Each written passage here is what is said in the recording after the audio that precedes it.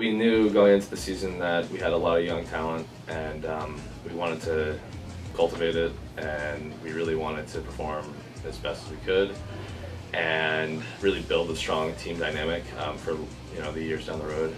Um, our goal was to win everything really and uh, and we managed to, to win a few races, have a few guys in the top three and, and win some races. Um, we finished second for the season so for, for both teams, for men and women. Our, our, primary goal going into the season was to finish top three in the in the regular season. Uh, getting second's great. Obviously, we wanted that first that first spot, um, but we had a few races where certain things didn't click, but we used those as learning uh, learning opportunities, and now we're ready to go for regionals.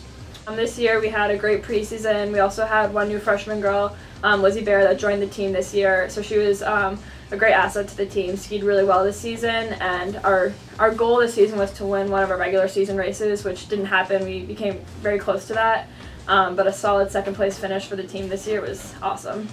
I mean, it's a big transition for, for any freshman coming in because the skiing is, is team skiing and not individual, which is what they're used to. So I've really been focusing on emphasizing the team skiing, the team aspect of it. Um, not not always about finishing as fast as you can, but finishing cleanly and and uh, focusing on strategy rather than just going down the hill as fast as you can. Yeah, it was definitely um, unprecedented, especially for me. Uh, my four years at Babson, always been like a strong upperclassmen group. It's always been you know six or, or seven guys, and then this year we had six uh, freshman men and, and, one new freshman woman.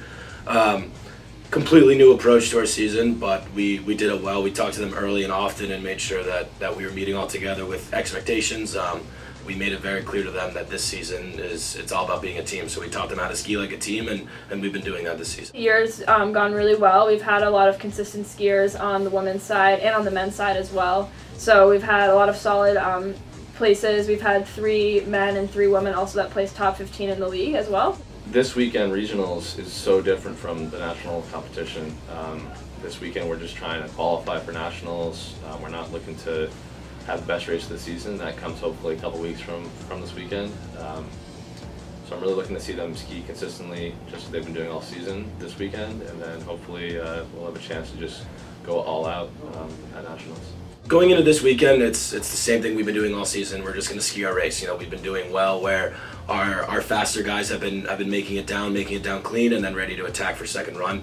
Uh, so really, our approach is, is nothing's changed. You know, this team is ready to go we've had all season to prepare for this moment, and, and, we're really excited for, for West Mountain. The goal for this weekend is to have everyone finish. Um, we need to have just solid finishes for the team in order to progress to nationals, since it's obviously only one race this weekend. Um, when it's on one GS, so I think our goal is to have everyone finish, um, ski consistent, ski fast, and then hopefully get that spot to nationals.